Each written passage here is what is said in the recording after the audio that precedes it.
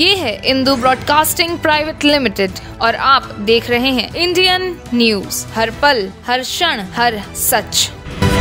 छत्तीसगढ़ के पूर्व मुख्यमंत्री व भाजपा के राष्ट्रीय उपाध्यक्ष डॉक्टर रमन सिंह ने छत्तीसगढ़ में हुए शराब घोटालों को लेकर पत्रकार वार्ता ली। इस दौरान उन्होंने पत्रकारों को संबोधित करते हुए कहा कि प्रदेश में 2019 से 2023 के बीच 2161 करोड़ रुपए का शराब घोटाला भूपेश सरकार ने किया है। इस मामले की जाँच करते हुए ईडी ने 1300 पेज के दस्तावेज़ न्यायालय में प्रस्तुत किए हैं। आरोप लगाते हुए बात कही थी, प्रधानमंत्री के बयान थे कि 19 से 23 के बीच 2161 करोड़ का घोटाला भूपेश सरकार ने किया।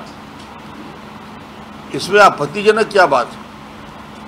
किया है, प्रमाण है और इस पूरे मामले में आपने पूरे के पूरे तंत्र को करप्ट कर दिया। सरकारी शराब आउटलेट पर शराब माफिया का कब्जा हो चुका है। स्टेट मार्केटिंग कॉरपोरेशन लिमिटेड द्वारा पूरे शराब मैनेजमेंट और मॉनिटरिंग वहाँ के पदाधिकारी कुछ आईएएस अनवर ढेबर और उनका ग्रुप के साथ साथ 800 आउटलेट का अपने लोगों को पोस्ट किया गया।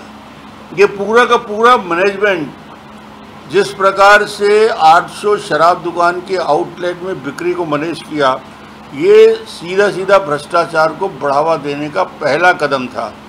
दूसरा कदम, नकली होलोग्राम से माध्यम से 30 प्रतिशत से ज़्यादा शराब वो 800 आउटलेट में बिक रहा है। देखिए, कितना बड़ा षडयंत्र है कि एक तो अपने लोगों को एजेंसी बैठा के 800 दुकानों में बैठा दिया और बैठाने के बाद उस नकली होलोग्राम का उपयोग करते हुए बिना टैक्स पटाए सरकार का रेवेन्यू लॉस वो बोलता है ना, नुकसान कहाँ हो रहा है?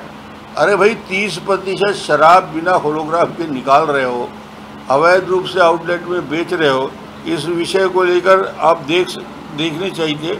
और महत्वपूर्ण विषय, जिसमें यदि कोई व्यक्ति ईमानदारी से सर्विस करता है पूरे जीवन भर तो उसके संपत्ति में कितना इजाफा होता है? जितना उसकी संपत्ति और जितना उसको तनख्वाह और पेंशन मिलता है।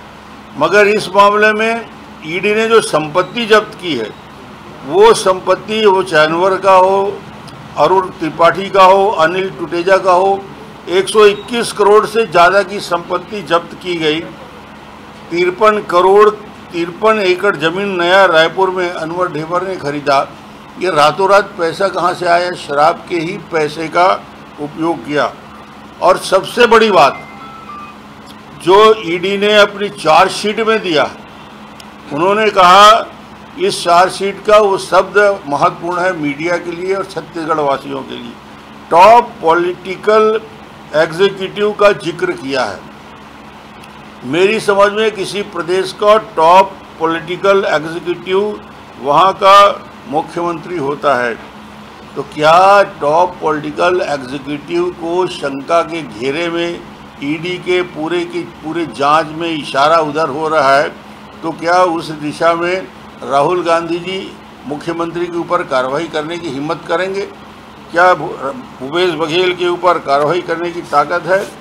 तीसरा विषय, जो प्रधानमंत्री जी के ऊपर आरोप लगाया, इनका इतना ही समझ धान की खरीदी में, अभी उसके बारे में झूठा कौन प्रधानमंत्री जी के ऊपर आरोप लगाने की हिम्मत करते हैं, मगर ये नहीं समझ है कि धान और चावल में कितना फ़र्क है।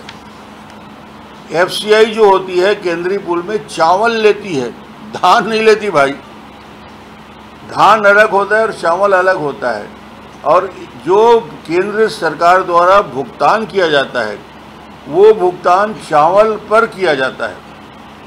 इन्होंने आरोप लगाया था, अठारह, उन्नीस उन्नीस, बीस बीस, इक्कीस में और इक्कीस, बाईस में धान खरीदी हुई।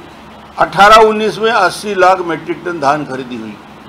सड़सठ परसेंट चावल बनता है धान का, सिक्सटी सेवन परसेंट। सौ क्विंटल में सड़सठ क्विंटल धान का चावल हो जाता है, बाकी भूसे निकल जाते हैं। तो सिक्सटी सेवन परसेंट यदि 18-19 में 80 लाख मेट्रिक टन हुआ तो तिरपन लाख मेट्रिक टन चावल बना। चावल का 45 लाख मेट्रिक टन तो केंद्र ने खरीद लिया भाई। 80 परसेंट खरीद लिया। अब बोलते हो खरीद नहीं रही केंद्र सरकार। उन्नीस बीस में 83.95 तिरासी दशमलव नौ पाँच लाख मीट्रिक टन खरीदा।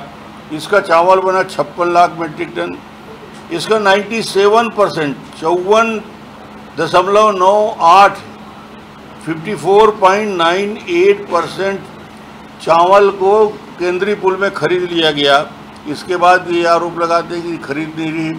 पैसा केंद्र का जाता है। बीस इक्कीस में नब्बे लाख मीट्रिक टन चावल में से इकसठ लाख, यानी सड़सठ परसेंट चावल, जिसमें से सत्तर परसेंट केंद्रीय पुल में लिया। इस देश में और इतिहास में सर्वाधिक ईमानदार बेहतर काम करने वाले और दुनिया जिसको मानती है, उस प्रधानमंत्री के ऊपर इस प्रकार की टिप्पणी करना उचित नहीं मानता न्यू वीडियोस की अपडेट पाने के लिए सब्सक्राइब करें इंडियन न्यूज़ को और बेल आइकन को दबाएँ।